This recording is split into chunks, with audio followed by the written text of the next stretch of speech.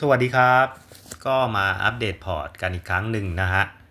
ประจำวันศุกร์ที่ 29 พฤศจิกายนปี 2024 นะครับ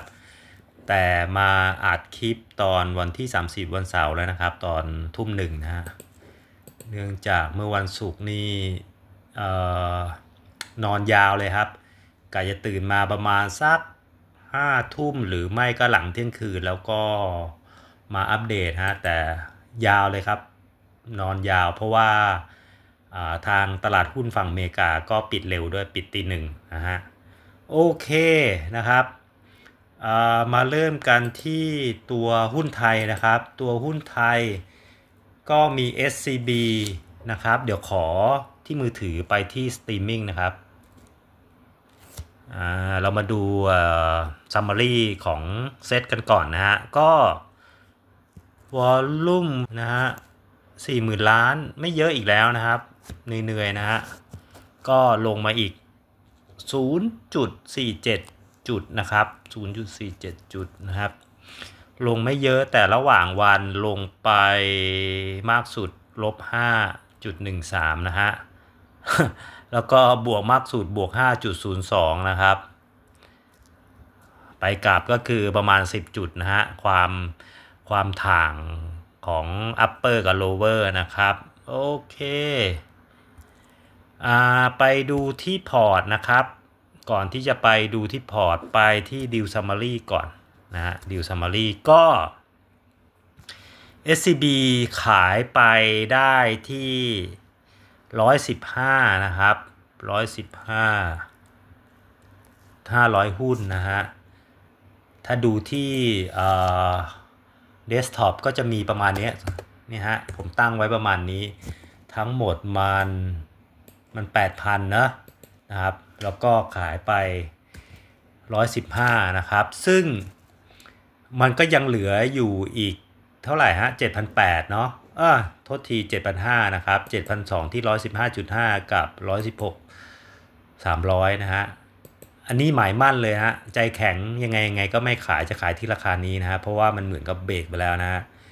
คิดว่าทำได้นะครับปิดที่ 114.5 ก็ไม่เป็นไรขนาดปิดราคา 114.5 นะครับ ปิดลงมาจาก 115 ที่เคยขายได้ ก็ยังมีกำไร1,300-1,400นะฮะ เพราะว่าต้นทุนผมไปได้มาที่ 114.31 ฮะ 114.5 ก็ยังมีกำไรนะครับ ไปที่ ทิสโก้นะครับทิสโก้ขายได้ 96.5 โอ้โห 4,000 หุ้นถือว่าโอเคเลยนะฮะ เอ่อ ไปดูทิสโก้นะครับ เหลืออีก 1,000 หุ้น 96.75 นะฮะ จริง ๆ มันก็มาปิดที่ 96.5 นะครับ ขายได้นะฮะ จริง ๆ มันถ้าไม่ปิดราคาเนี้ย อ่า เดี๋ยวไปไปดูกันก่อน ไปดูที่ทิสโก้นะครับ ถ้าไม่ปิดราคานี้ จะเห็นว่าเนี่ยฮะไอตัวสีฟ้าเนี่ยน้อยมากเลยนะครับนะครับ ให้ดูกันตรงนี้แล้วกันนะฮะไอตัวสีฟ้านะครับสีฟ้าที่ผมขายได้คือน้อยมากนะครับ สักประมาณเท่าไหร่อะไม่กี่หมื่นหุ้นเองนะฮะเพราะว่าต้องยอมรับว่าทิสโก้วอลลุ่มเขาจะน้อย เพราะว่าคนส่วนใหญ่เขาถือกินปันผล แล้วก็ไม่ค่อยมีการซื้อขายเท่าไหร่ แต่ นั่นแหละผมมองว่าเป็นข้อดีตรงที่ว่าหนึ่งราคามันลงไม่เยอะนะฮะ แล้วแน่นอนก็ขึ้นไม่เยอะด้วยนะฮะ เราเอาผลดีจากตรงนี้มาใช้ ผมไปแอบไปดูการคุยของกลุ่มใน Facebook ที่เกี่ยวกับเรื่องหุ้นเรื่องอะไรนะ เขาประมาณว่าไอ้ตกลงหุ้นตัวเนี้ยมันมันไม่เอาผลต่างของราคาที่เป็นคาปิตอลเกนเลยใช่ไหมเอาปันผลอย่างเดียว เออแต่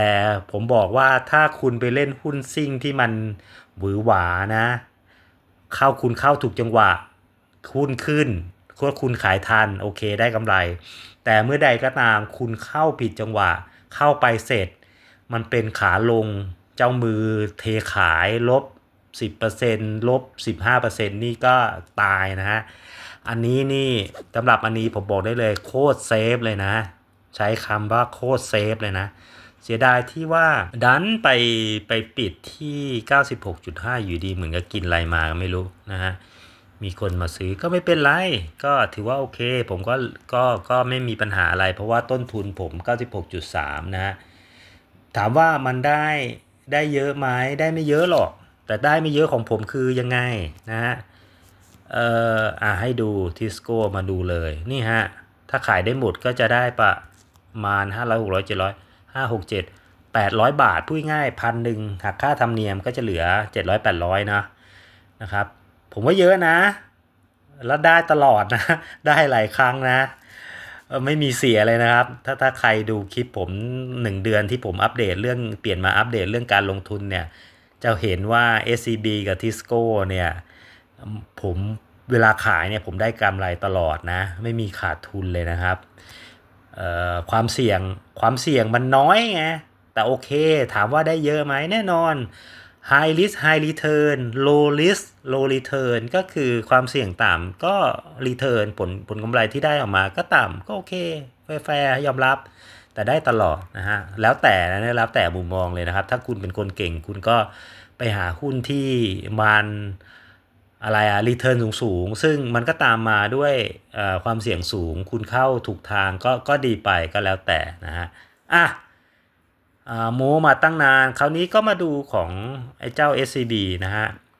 SCB ผมขายไปแค่ 250 แหละ แล้วที่เหลือที่เป็น unrealized ก็ 1,179 ฮะ ตามอันนี้นะฮะ ก็อาจจะไม่ตรงนิดหนึ่ง แต่ไม่เป็นไร แต่ถ้าเมื่อใดก็ตามผมตั้งราคา ขายได้ที่ 115.5 นะครับ เป็นไงฮะ นี่ฮะ 8,800 ยังไม่หักค่าธรรมเนียม หักค่าธรรมเนียมก็เหลือประมาณ 7,900 8,000 นะฮะ ก็โอเคนะครับ โอเคนะครับตามนี้เลย ก็จบไปนะครับสำหรับหุ้นผมเล่นอย่างนี้ผมสบายใจกว่ากันเยอะเลยนะครับ ได้ตลอดนะฮะ ได้ตลอด ก็ผ่านไปสำหรับหุ้นไทยนะครับ คราวนี้มาดูที่กองทุนนะครับกองทุน กองทุนนี่ก็ถือว่า อืม กองทุนทองก็อย่างที่บอกนะพลาดนะ ทองผันผวน ผมบอกแล้วว่า ผมจะไม่เล่นไปซักระยะใหญ่ ๆ เลยเนาะทองอะไปดูแอปดามนะครับ อัตราแลกเปลี่ยนนะฮะอัตราแลกเปลี่ยน ลืมบอกไป ไม่ลืมบอกอาจจะบอกตอนนี้เลยว่ามาเงินมันแข่งค่า 34.23 นะฮะ 34.23 เดี๋ยวให้ไปดูอัตราแลกเปลี่ยนนิดนึง 34.23 นะครับยังไงฮะ 34.25 อะ ผมเปลี่ยนให้เป็นจุด23 ตามนี้ นี่ฮะ จากเดิมต้นทุนของที่ผมแลกเปลี่ยนมาสำหรับ โอ้หุ้นสหรัฐ 34.34 เฉลี่ยแล้ว ตอนจากจากเป็นบวกตอนนี้ เป็นลบแล้วนะครับ เป็นลบก็คือ มันไออัตราเลขเปลี่ยนปัจจุบัน 34.23 มันน้อยกว่า 34.34 แล้วนะครับ ก็คือลบ 0.32%นะฮะ ส่วนอันนี้เป็นอัตราแลกเปลี่ยนสำหรับทองโกสปอร์ตนะ ก็ยิ่งลบ 1.96 แต่อันนี้ไม่ต้องดูเพราะว่ามันไม่มีเหลืออยู่แล้ว มันเหลือเฉพาะต้นทุนที่เป็นอัตราแลกเปลี่ยนของไอ้หุ้นอเมริกานะฮะตอนนี้นะครับ ก็คือ Google กับ GLD ที่เป็น ETF ของ Go นะฮะเนี่ยฮะก็จะบอกว่าไอ้ตัวแสบก็คืออัตราแลกเปลี่ยนนะฮะมันแข็งมาแข็งมาทีไรก็คือก็ ก็ตายอะฮะไปดูที่ US THB นะฮะไปดู year to date ก่อนละกัน อ่านี่ผมจะบอกว่า ผมได้เส้นพวก EMA อะไรต่างๆ มาแล้ว ก็บอกตามตรงเลย ผมไม่เก่งเทคนิคนะฮะยังไม่รู้เรื่องเลยงงๆนะครับ เพิ่งไปซื้อไอ้ Black Friday มานะครับ แพ็กเกจของ Trading View Essential นะฮะ ก็ประมาณซับเท่าไหร่ 5,000 5,000 บาทมั้ง13 เดือนนะฮะ โอเค ยอมลงทุนกับมันนะฮะ ถือว่าตรงนี้ไปเดี๋ยวขอไฮมันไปก่อน อะมาดูตรงนี้ฮะก็นี่ฮะอย่างที่บอกว่าสักประมาณวันที่ 30เนี่ยกันยานะมันแข็งสุดที่ 32.139 นะหลังจากนั้นมันก็พยายามที่จะทำตัวอ่อนขึ้นไปแล้วเนี่ยเนี่ยไปไปไฮสามห้าจุดหนึ่งหกแปดวันที่เท่าไหร่วันที่สิบสี่โนเวม ber แล้วหลังจากนั้นก็ลงมาเลยนะครับ หลังจากนั้นก็ลงมาเลย เดี๋ยวให้ดูว่ามันล้าจริงๆเลยนะ คิดแค่ตรงนี้แล้วกันกับตรงนี้ นี่ฮะ มันลงมาสองเปอร์เซ็นต์แล้วนะครับ โอ้โหเหนื่อยใจกับมันเลยนะครับ อะ ไม่เป็นไร ถือว่ามันเป็น uncontrol นะฮะ มันอย่างว่าเราถือเงินตาต่างประเทศ เราก็จะได้ประโยชน์เมื่อ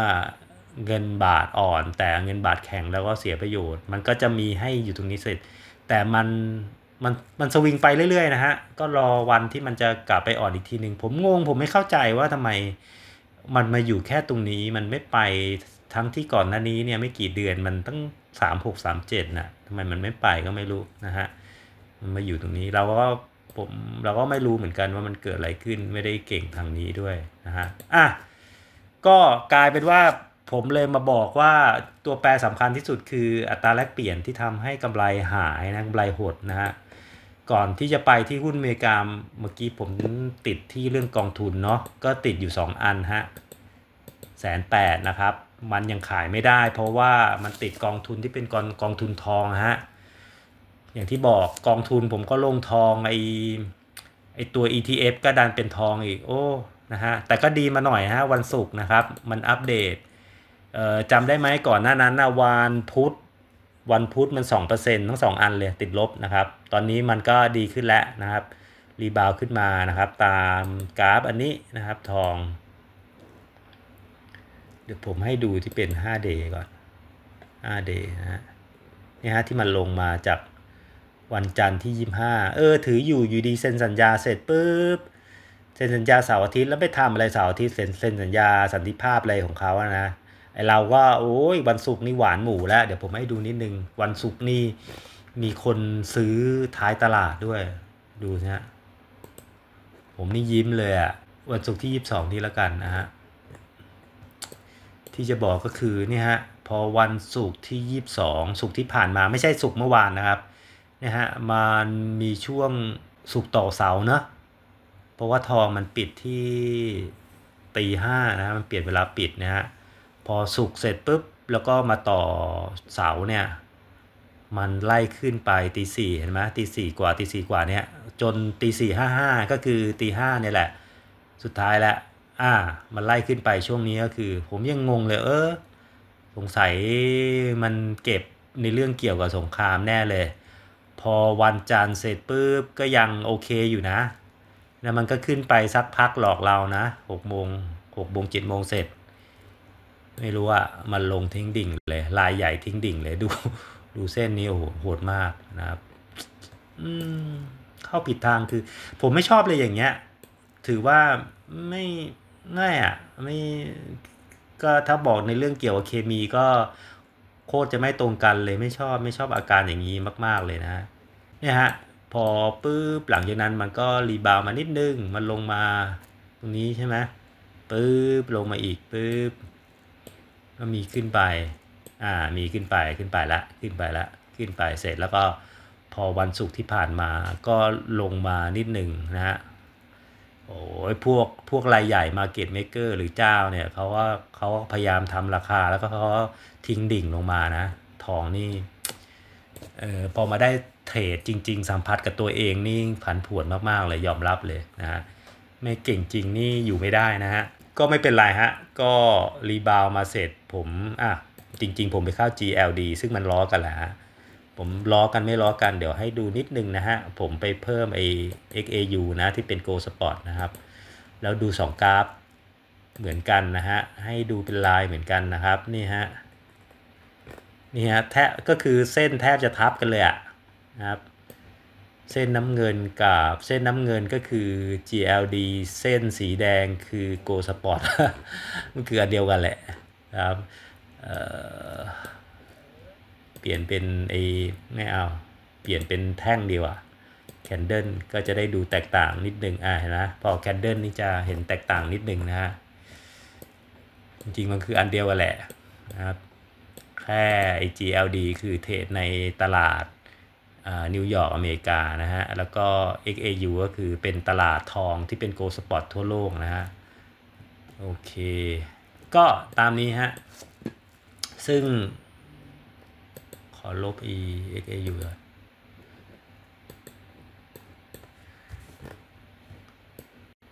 อ่า มันอยู่ตรงนี้ 245 ซึ่งมันขึ้นมา 245 แล้ว จากก่อนหน้านี้มัน 242 นะฮะ ก็ไม่เป็นไรนะฮะ ก็ทำให้ตอนนี้ติดลบแค่ 0.5 นะครับ ลบไป 1,000 จากแสนแปดเดี๋ยวทิ้งไว้ให้ให้มันมาเท่าทุนหรือใกล้ทุนนิดนึงอะ่ะ ผมขายแล้วไปเข้าอย่างอื่นละนะครับ ไม่ไหวไม่ไหว อะ กองทุนก็ก็ก็ผ่านไปนะครับ เดี๋ยวให้ดูที่มือถือที่มือถือก็ให้ดูสินทรัพย์นิดนึงนะฮะ นี่ฮะ เลขเป็นโจ๊กเลยครับ จากสูงสุดถ้าจำได้ 1074 คนละเรื่องเลยมาเรื่อยๆ 1063 1042 อันนี้ล่าสุด 1021 นะฮะ 21 ไปอันนี้เท่าไหร่ห้าหมื่นก็ห้าหมื่นสามเนาะหายไปห้าหมื่นสามซึ่งหลักใหญ่ก็มาจากไอ้นี่จะเข้าเรื่องเกี่ยวกับเอ่อ ที่เป็นหุ้นสหรัฐเลยนะครับ อันที่สามนะฮะก็มาจากอัตราแลกเปลี่ยนฮะทำให้ขาดทุนไป 0.32 ซึ่งจริงๆอะมันได้ก่อนหน้านี้อะเพื่อนดูก่อนหน้านี้มัน 3-4จุด84 เอาแบบขำๆนะ ไม่ต้องเป็น 35 นี่ฮะ 1.45 แล้วก็ 1.45 แล้วก็ขาดทุน 7,800 นะ คอนโทรลแซดณปัจจุบัน 34.23นี่ฮะขาดทุน 22,000นะครับ ติดลบคนละเรื่องเลยนะครับคนละเรื่องเลย เมนหลักเลย จึงไม่แปลกใจว่าทำไมเวลาบาทอ่อนนะครับต่างชาติที่เล่นหุ้นไทยขายหมดนะฮะขายหมดทยอยขายตรงข้ามกับกับเราที่ไปเล่นหุ้นสหรัฐบาทอ่อนเราผลดีต่างชาติผลลบเหมือนกันเลยฮะพอพอบาทแข็งมาไอเราที่ไปเล่น หุ้นหรือถือสกุสกุลเงินดอลลาร์นะครับ ก็ก็ก็เจ็บตัวนะฮะลบ 22,000 เลยนะครับอันนี้มันลบเยอะเพราะว่าผมไปขาดทุน capital gain ที่ที่ไอทองไอตัวเนี้ยไอตัวแสบเนี่ยฮะสองสี่แปดมันลงมาสองสี่สองสองสี่หนึ่งนะฮะไอนี่เป็นเป็นราคาปิดก่อนเปิดตลาดวันศุกร์สามทุ่มครึ่งนะ เพราะตอนนี้มันสองสี่ห้าแล้วนะฮะถ้าสองสี่ห้าอย่างตามเนี้ย สองสี่ห้าจุดห้าเก้าสองสี่ห้าจุดห้าเก้าก็จะเหลือแต่ผมขายไปแล้วแหละ มันมันก็เหลือลบหนึ่งจุดหนึ่งเปอร์เซ็นต์ลบไปสองจุดสี่ดอลลาร์ เพราะว่าทุนมันเหลือสองพันหนึ่งแล้ว น่าเสียดาย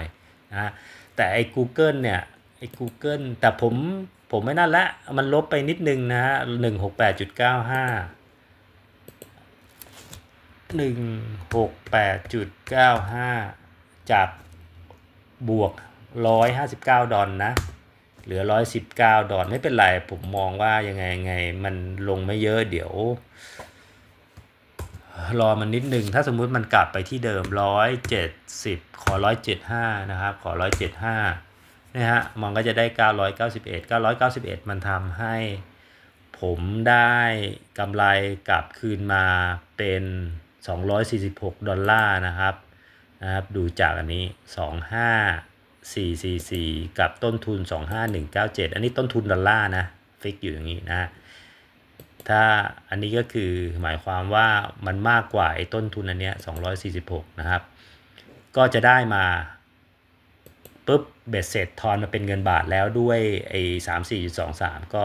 ห้าพันหกขอแค่นี้ฮะ ผมขอแค่นี้เลยนะครับ หวังว่าคงจะได้ไม่ขายแล้วไม่ทำอะไรแล้วนะครับ รอไอ้เจ้า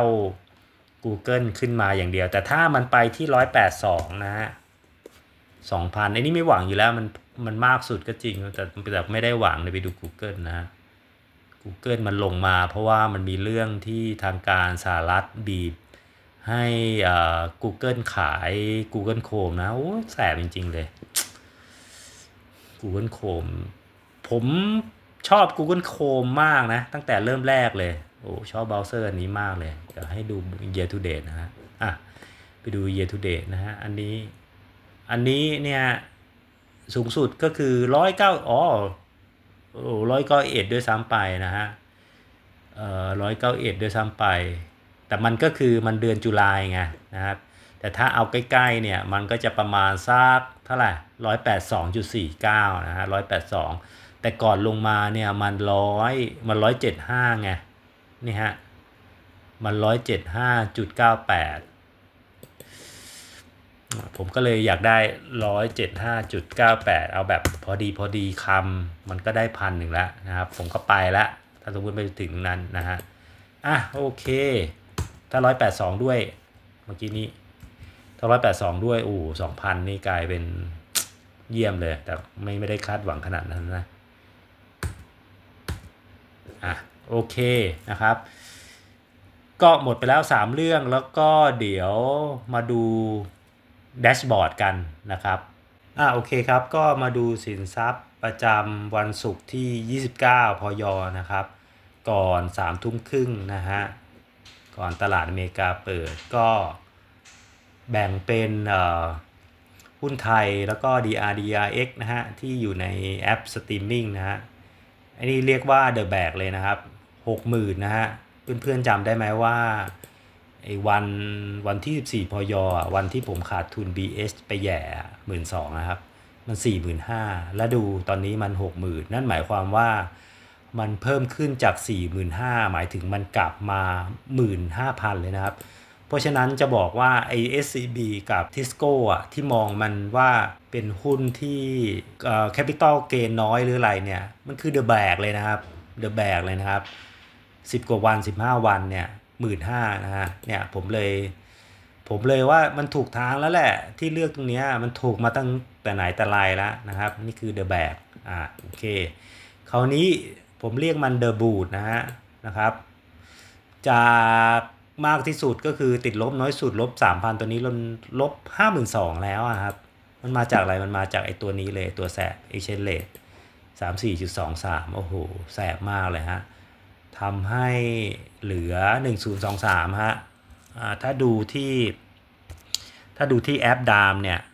นะครับเพื่อนๆจะเห็นว่ามัน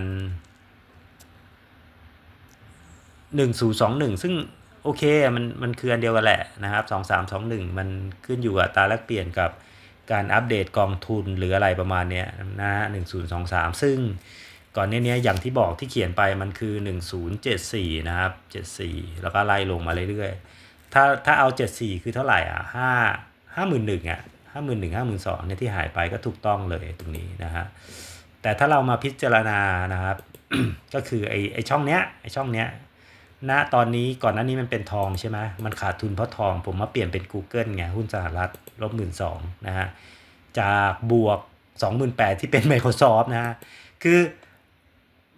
ที่เราเห็นน่ะไม่ขายยังไงยังไงไม่ขายแล้วสุดท้ายเป็นไง ไม่ขายไม่ขาดทุนใช่ นี่ไงไม่ขาดทุนแล้วเป็นไงฮะไม่ขายก็ไม่ได้กำไรนะครับ ก็มันแต่ตอนนั้นอะคือต้องบอกว่า Microsoft มันก็ออกอาการแปลกๆ มันแค่ 426 เองนะ ซึ่งมันห่างจาก 460 กว่าอีกเยอะนะ ใครจะไปรู้มันก็ผันผวนเหมือนกันนะ Microsoft นะครับนะครับ ส่วนอันนี้เป็นกองทุนทองนะ โอเค มันมันจากลบ 2,000 มันเหลือลบ 1,000 ถือว่าโอเคแหละนะฮะอันนี้ไม่ได้มีอะไรเท่าไหร่นะ แล้วก็มาดูผลรวมแล้วนะครับ 6 หลักนะฮะของยอดออสินทรัพย์รวมทั้งหมดทั้ง 2 อันนะ สามสองสองซึ่งก่อนนั้นนั้นมันเท่าไหร่ ก่อนนั้นนั้นมันสามหกสองสามหกสามถ้าจำได้นะ ก็เหมือนกันฮะ มันหายไปถ้าสามหกสองมันหายไปสี่หมื่นแต่ดูนี่มันลบห้าหมื่นสองเพราะไอ้นี่ไอเดอะแบกมาช่วยของหุ้นไทย เพื่อนๆอาจจะงงนะฮะ ว่าคนอื่นหุ้นไทยมันลงลงลงลงเขาขาดทุนกัน แต่ผมได้กำไรนะนะ เพราะว่าการเลือกหุ้นนะครับ ผมบอกว่า ไม่ได้อวยตัวเองนะ หมายถึงเลือกหุ้นที่พื้นฐานดีและรู้แนวรับแนวต้าน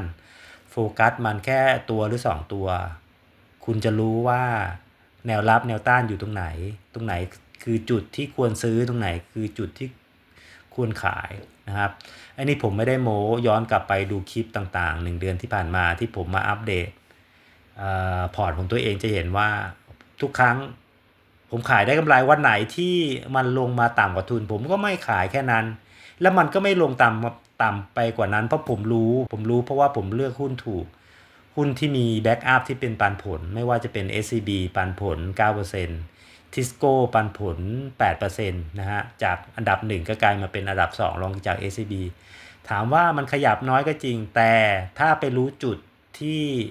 แนวรับแล้วไปขายแนวต้านมันอาจจะอึดอัดนิดนึงผมยอมรับเลยว่าเล่นทิสโก้นี่อึดอัดมากนะฮะ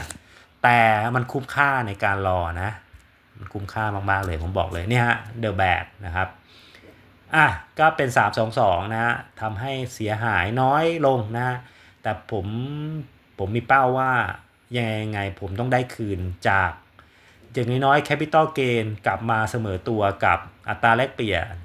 ผมจะไม่ผมจะไม่แลกเป็นเงินไทย ผมจะรอให้อัตราแลกเปลี่ยนมันอ่อน35อย่างน้อยก็ต้อง35นะฮะถึงจะถึงจะแลกกลับนะครับ แล้วก็อันนี้ฮะอย่างที่บอกก็คือเป้าใหญ่ กลายมาติดลบ 14 จุดอะไรสักอย่าง xx ตอนนี้มาเพิ่มแล้วติดลบ 15.14 ก็ตามอันนี้ฮะนะครับโอเคแล้วเดี๋ยวมาเจอกันใหม่นะครับในอาทิตย์ต่อๆไป นะครับโอเคครับ สวัสดีครับ